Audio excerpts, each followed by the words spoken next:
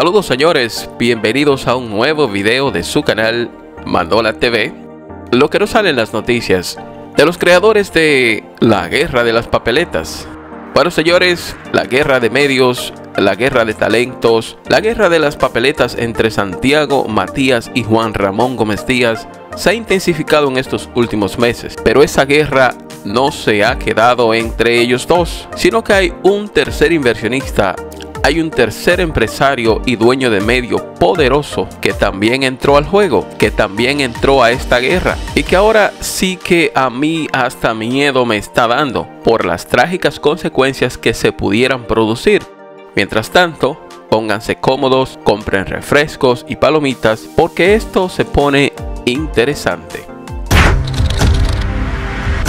Miren señores, República Dominicana, a pesar de ser un país pequeño, con tan solo 10 millones de habitantes, o creo que somos 12 millones, 15, 20 millones, no sabemos, nadie sabe. Estamos a la espera del resultado del censo todavía. Pero el caso es que somos un país pequeño y a pesar de eso contamos con una amplia gama de medios de comunicación. Somos uno de los países mejor comunicados y más bien informados de toda la región. Hasta ahí vamos bien. Esos medios, canales de televisión, emisoras de radio y periódicos, en principio estaban monopolizados, o lo siguen estando todavía. En ese país, nuestro país, existen islas de poder, grupos empresariales que han acaparado todo, que se han adueñado de todo, incluyendo los medios de comunicación. Miren, no pasan de cuatro o tal vez lleguen a cinco o seis las personas que son dueñas de los canales, de las emisoras y de los periódicos. Básicamente son las familias que manejan los recursos económicos de la isla completa. Las familias dueñas de las grandes empresas, los que controlan, los que ponen y quitan gobiernos. Si bien hay muchas de estas familias que han hecho su fortuna trabajando honradamente, pero la gran mayoría de ellas han sido riquezas históricamente endosadas por distintos gobiernos. Toda esa inmensa fortuna estatal que estaba en manos de una sola familia entre 1930 y 1961, toda esa inmensa riqueza del Estado, empresas, tierra, dinero, etcétera, que estaba en manos de Trujillo, les fueron entregadas, endosadas a familias que hoy son las familias más ricas, más poderosas, más acaudaladas y más influyentes de nuestra pobre República Dominicana, a costa de que les entregaron todo. Y a muchos de ellos ni siquiera les entregaron nada, sino que ellos mismos se lo robaron. Pero mejor no me hagan dar nombres, montos, fechas, para que no se arme un maldito lío en ese país. Entonces, hasta hace pocos años existía y hasta cierto punto todavía existe un monopolio comunicacional en el país. ¿Por qué digo que hasta cierto punto todavía existe este monopolio de medios de comunicación? Bueno, porque los grupos que siempre han sido los dueños de canales de televisión por décadas, los siguen siendo hoy día. Los grupos que han sido los dueños de emisoras de radio siguen siendo los mismos y las mismas familias poderosas que por décadas han sido los dueños de periódicos lo siguen siendo todavía. Obviamente, esas familias se venden y se compran medios, empresas, acciones y productos entre ellos, pero simplemente pasan de un grupo a otro. Al final terminan siendo los mismos grupos empresariales tradicionales, las mismas familias que históricamente han controlado todo en ese país. Por ejemplo, en el país hay como 10 periódicos. Me refiero a periódicos físicos que se distribuyen a nivel nacional. Pero de esos 10 periódicos, la familia Corripio, dígase José Luis Corripio, alias Pepín y su hijo Manuel, solo ese grupo es dueño del periódico Hoy, del Día, del Nacional, del Listín Diario y parte de Diario Libre. Fíjense ustedes, esa sola familia es dueña de 5 de 10 periódicos que tenemos en el país. Pero agárrense bien, escuchen.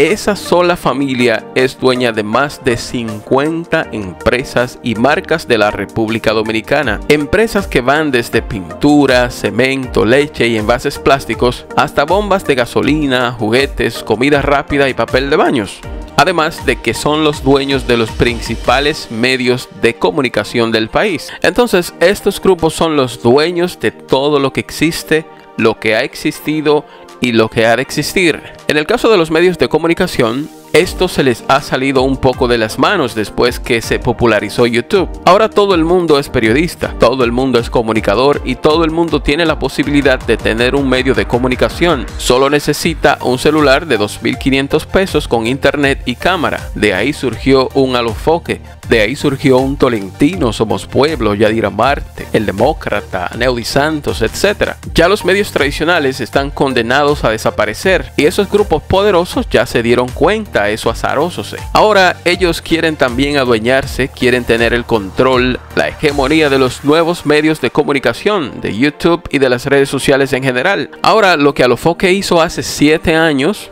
porque hay que decirlo, Alofoque es el inventor el creador, el ideólogo de las cabinas diseñadas para transmitir en audio y video, dígase radio, YouTube y televisión. Obviamente, eso él lo copió de otros países que van siempre más adelante que nosotros, pero aquí en el país Alofoque fue el primero. Te la comiste, Santiago. Entonces, lo que Alofoque hizo hace 7 años, esos grupos poderosos lo están implementando hoy día. Hoy vemos a RCC Media y Antonio Espaillat construyendo 10 cabinas para radio, televisión y YouTube. Vemos al grupo Corripio construyendo sus cabinas. Mario Lama tiene ya 3 cabinas listas para la competencia. Juan Ramón Gómez Díaz está construyendo ahora mismo 5 cabinas. Él mismo ha dicho que son para competir con Alofoque, porque ahora todos quieren parecerse a Alofoque Ahora Alofoque es el modelo de éxito de los medios de comunicación al que hay que imitar. Sin embargo, Alofoque siempre quiso imitar al gobierno de la mañana y ha divertido con Hochi. Estas fueron sus dos inspiraciones para hacer este híbrido de un programa de radio con un programa de televisión. Alofoque siempre ha sido admirador número uno del gobierno de la mañana y de divertido con Hochi ni se diga. Incluso la cabina principal de la plataforma de Alofoque se llama Hochi Santos. Entonces, ¿qué buscan estos grupos? Ellos buscan controlar el mercado como siempre. Ellos buscan desplazar plataformas como la de Alofoque, desplazar plataformas como la de Luis Nicorporán, desplazar al Boli, desplazar a Somos Pueblo, desplazar a Rafael Guerrero, desplazar al Demócrata, desplazar a Neudi Santos desplazar a Wilson Sweat y desplazar a todo aquel que haya logrado construir una comunidad y que pueda hacerse llamar influencer o medio de comunicación a través de YouTube.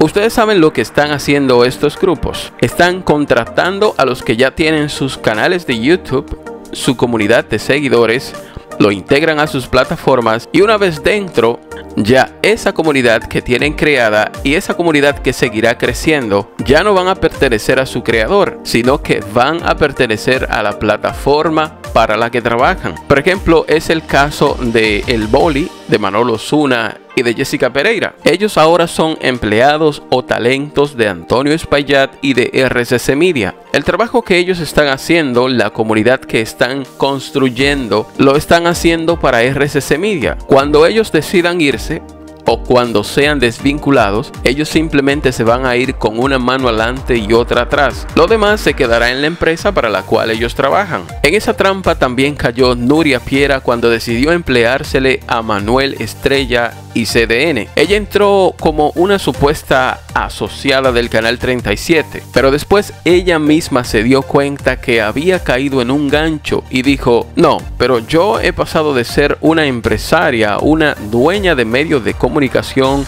a ser una empleada de Manuel Estrella y de Félix García. El trabajo que yo hago aquí lo que hace es engordar a CDN. Bueno, y cuando entró en razón, renunció de CDN y miren ustedes, hoy día tiene uno de los proyectos de comunicación más bonitos de todo el país. Tiene su marca propia, tiene su periódico, tiene su programa independiente asociado, tiene su empresa suya de ella, de su propiedad.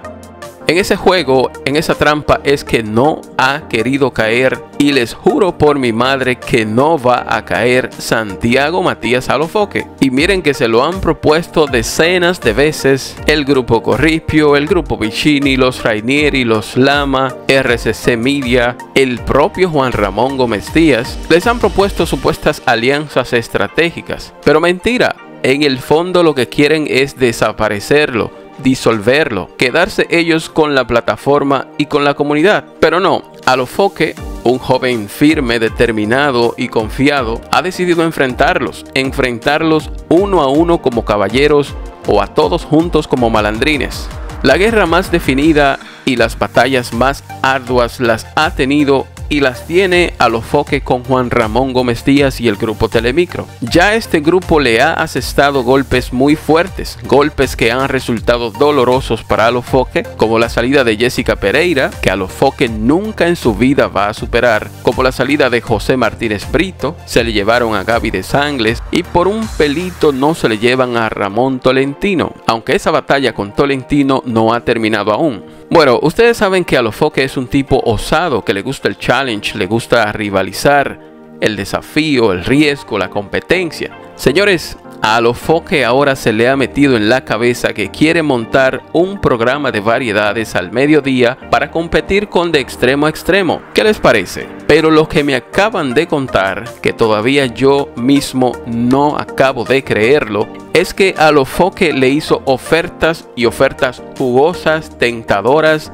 y difícil de rechazar a nada más y nada menos que al número uno. Señores, Alofoque está son sacando a Michael Miguel Holguín, el presentador animador número uno del país. En los pasillos de Telemicro nada más se habla de eso, que si es verdad que Michael Miguel se va de Telemicro, que si se va con Alofoque, que cuánto le ofreció, que si es verdad que Gómez Díaz le aumentó el sueldo para que no se vaya, que si es verdad que Alofoque le ofreció unos millones. Ese es el bochinche de no acabar en los pasillos de Telemicro. Se rumora que ya Gómez Díaz tiene preparado a José Hernández para que en de que Michael Miguel se vaya, él sea el conductor y animador principal de De Extremo a Extremo. A Michael Miguel ya se le ha abordado, se le ha preguntado sobre el tema y él dice que De Extremo a Extremo se está rediseñando, que se están haciendo cambios, que puede que él salga del proyecto en los próximos días. Cuando se le preguntó si es verdad que se va con Alofoque, dijo que él nunca trabajaría con Alofoque, que eso es un imposible. Bueno, y así mismito dijeron Vitali y Larimar